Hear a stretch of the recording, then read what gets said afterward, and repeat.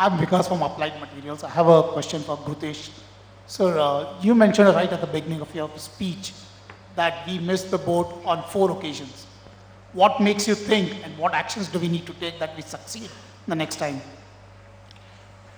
Panel discussion. All right.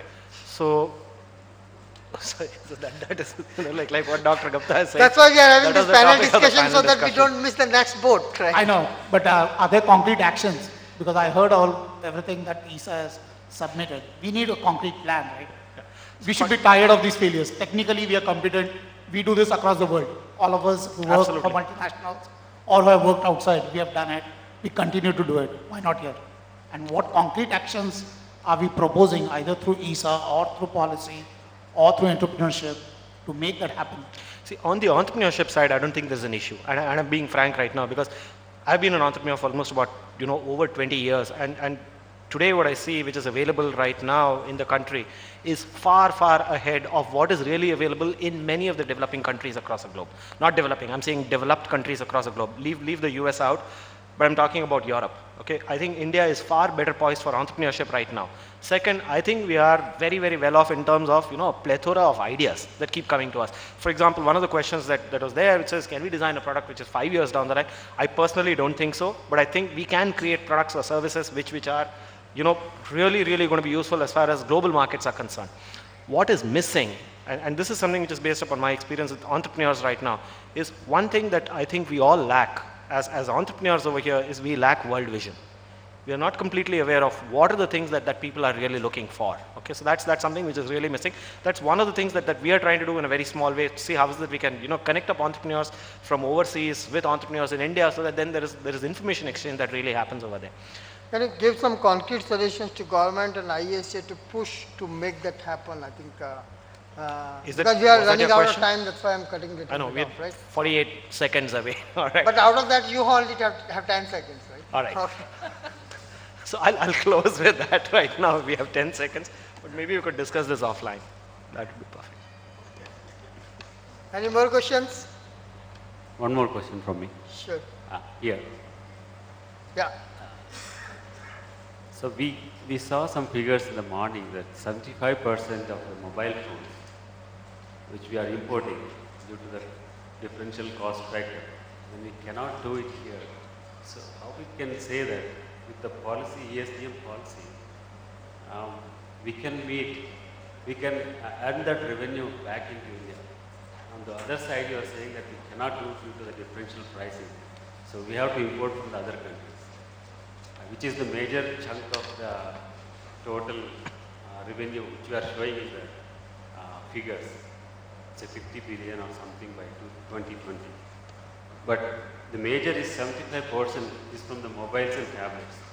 And when we cannot do that in India, as he pointed out, then how we can promise that revenue to all the people here and uh, promote a policy which is not realistic. See, I don't know, uh, it came out that we cannot do it here, but it's a business issue, not a technical issue. So, question the gentleman there asked is that technically can we do it, right? Business wise, if somebody using all the policies and incentive is able to put up a business model which is sustainable and profitable, certainly it can be done. I think there is no doubt it can be done because we have the capability. But somebody has to come up and put the business model which is sustainable and profitable. And so that's where basically we are at today's juncture is that, uh, is it, see because we create the policy, we give the recommendation and all those things, but end of the day, a businessman has to come, stand up, create a business model and say, if I do this in India, I'm going to make more profit, right? At the end of the day, that's the game, right? So today, tomorrow, Microsoft, uh, uh, Micromax guys or Lava guys, right? They are the one who should say that, not me and you. That environment and policies and all of those things are sufficient enough to make them a profitable product in India. If they are getting a 10% more profit, why will they not do it in India? I don't see any reason. So is it related to have, if there is a fab here, here in India, is it possible? It's not related to the fab. The ah, cell phone manufacturing has no relation to the fab. Okay. China also doesn't have any fab which produces the components for the cell phone. They produces the components for other things, right? But cell phone, it has no relation with the basically chip manufacturing as per se. Probably we should be more realistic in providing the revenue figures to the entrepreneurs here so that they can plan in the right way uh, for what product actually they should aim. Because we are showing a very huge figures, at the same time we say that we cannot do it in India. No, no, we are not saying we cannot do it. Somebody has to step up and take the advantage of all of those things and could create a business model, right? It needs effort, guts, everything together. It's a business decision at the end of the day.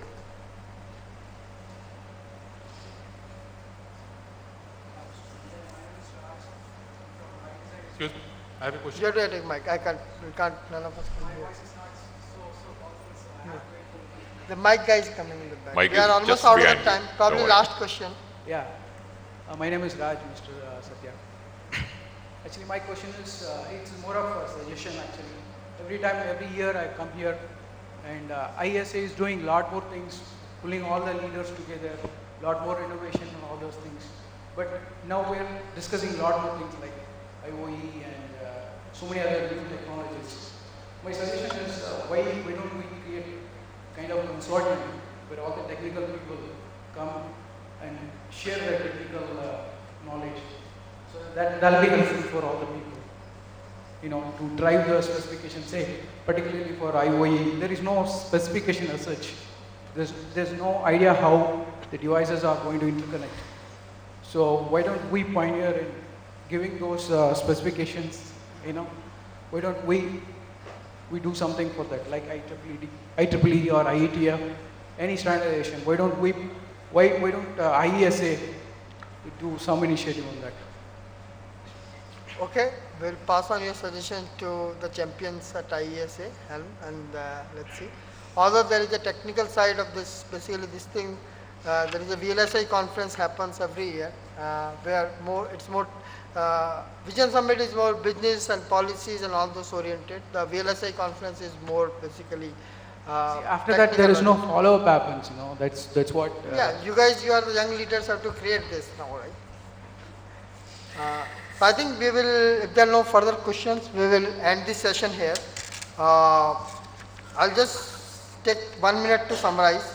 In terms of the opportunities, we have heard basically four broad areas, which is, uh, which I consider the next three pillars after roti, kapra, makan, which is uh, uh, energy, healthcare and education, which everybody needs and I think all of you pointed out these are the three big opportunity areas. And in addition to that, basically agriculture came up as a uh, one big opportunity where India, if innovates today, can have reap benefit in basically next three to five years, right? Uh, in terms of the uh, issues, in terms of the product development, certain there is uh, uh, some work still needs to be done on the policies and the uh, mm, overall ecosystem. It can be improved.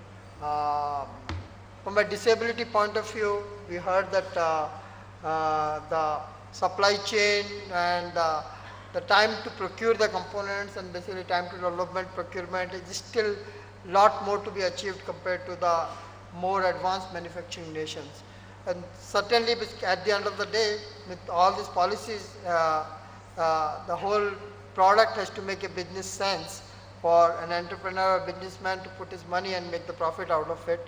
Uh, we heard few things about that, but I think uh, uh, with lot of policies now getting into the implementation phase, some of that basically gap should be uh, erased and we should be able to become more competitive. With that, I would like to thank all the audience, my fellow panel members. Uh, we had a good, uh, exciting session. Uh, thank you so much and uh, good beginning of the VS session. Yeah, before we leave the panelists, I would request Mr. Vivek Tyagi to kindly come over to the podium and give a uh, the moderator and the speakers. I would request Dr. Satya Gupta to kindly accept a memento from Mr. Vivek Tyagi, the Director of Business Development India from San Francisco. Thank you, Dr. Satya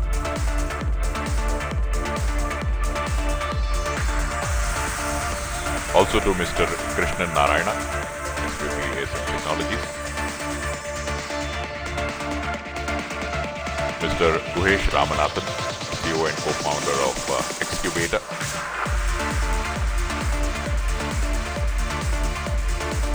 Uh, Dr. Radha Michelle, uh, President and CEO of uh,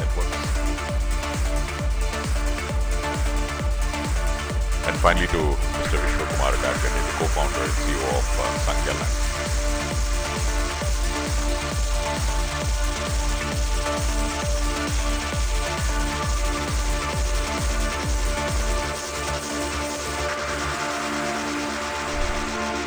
Once again, uh, we would like to thank the panelists for a very thought-provoking session about product innovation. Well, ladies and gentlemen, we'll take a 15-minute break, so do come back, and after the tea, we'll have a very, very interesting session about the initiatives by the state for the ESDM sector.